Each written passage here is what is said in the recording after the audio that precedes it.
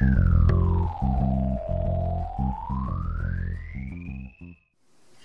everyone, it's me Nikki here today and I hope you all are doing fantastic. I'm here today to actually do a product review of the Mi Allegro Immersion Blender. I want to thank Mi Allegro. They sent me one to do a product review on and I am so excited to do this. I love kitchen items and I think an immersion blender is one that is one of those things that I can say is a must have in your kitchen after I received this from Mi Allegro, I actually did some research and found that this brand was actually named one of the best buys in the immersion blender market. So that has me really excited to try out this product because um, immersion blenders are great when you're making this, those soups that you want to puree. And the great thing about an immersion blender is they can withstand the heat. You can put them in your hot soups. You can make your smoothies, your breakfast smoothies with them. You can make, chop up your tomatoes and stuff to make your bruschetta, you know, whatever chopping, whisking, all those kind of things that you have to do in the kitchen, an immersion blender does it. And so that's why I think that there are, you know, they are one of the must-haves in the kitchen. And so I'm so, so excited about giving this one a twirl here. I'm going to take you on that journey with me so that you and I can kind of review it together. You can kind of see what the pros and cons are. And, you know, we can just kind of, um, help with uh, you know some of you who are out there who are in the market looking to buy an immersion blender and this is a great way to kind of get test run one um, before you actually make a purchase. Now this one runs between 60 and 70 dollars. You can get it off the Mi Allegro website. You can um, also go to Amazon.com. They have different um, you know watts and um, styles and colors and things, and you can kind of see you know the different ones that they have out there. So let's get in the kitchen and give this baby a twirl. Okay, before we actually get in the kitchen, I want to introduce you up close to the product. It's the Mi Allegro MiTutto. The model is 9090. It's 550 watts. It comes with the blender with the motor handheld shaft. It has a blender shaft, a whisk attachment, a beaker, and a BPA-free chopper bowl. Mi Allegro, I give you thumbs up already for having the color green. I absolutely love this color. And so let's get into the kitchen. So this is what I prepared today for breakfast. Eggs Benedict minus the meat. And I also made an uh, orange Julius to go along with it, very refreshing. And I used the Mi Allegro MiTutto as my assistant and gave it a twirl. And so that's the journey that I'm going to take you all on with me today. Okay, the first thing I did was I got my water boiling so that I could poach my eggs for the Egg Benedict. And I like to get it at 200 degrees, so I'm just testing it out here. Now, by no means am I a perfectionist at poaching eggs. I just boil my water, get it to 200. I put a teaspoon of vinegar, a little bit of salt to kind of help keep the eggs together um, keep the egg together and I give it a swirl before putting my egg in. And I make, you know, poached eggs well enough for my household. I'm not a professional at all. I put my egg in a ramekin before I actually pour it into my pot. It tends to help me better than just kind of breaking the egg into the pot. And then I'm going to let it boil for about four minutes and that always tends to work for me. Now we're going to make the hollandaise sauce. I have three egg yolks here a teaspoon of heavy cream, and I also have a pinch of cayenne pepper, and then a one third cup of lemon juice, but I would even use half of that. I think I always use a little bit too much. And then I'm going to use some butter also. You need one stick of salted butter.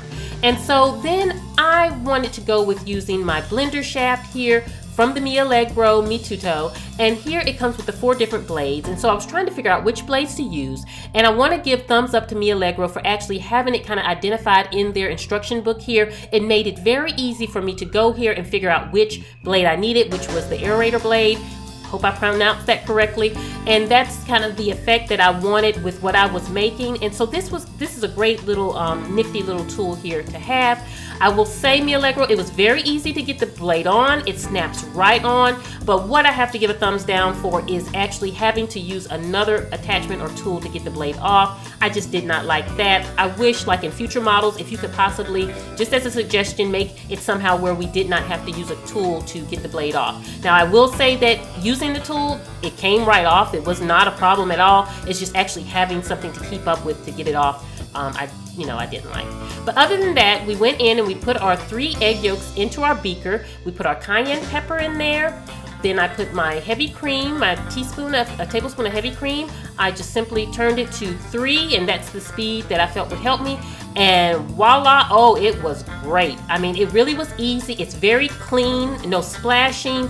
It blended it in no time. It really got my hollandaise sauce looking like hollandaise sauce in no time, and it did the job. Now I'm adding in my lemon juice, which that's the kind of final touch for the hollandaise sauce here. But it worked great. This is such an easy recipe for hollandaise sauce, and I actually found it in the Mi Allegro book. I used I used to make it a different way, but trying their way was just so easy.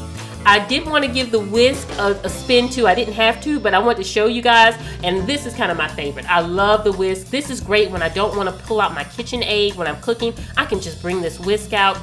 Very great speed. I mean, that baby runs. That motor is no joke. It really, really is uh, good quality and it runs. So I was very happy about that. And there, my hollandaise sauce is good. I have my um, English muffin toasted. I have my poached eggs on here. And now I'm just going to pour on my hollandaise sauce and we are just ready to roll. I think it's easy cleanup because now I just have to clean up the beaker and my whisker, put a little green onion on here, and voila, breakfast is served.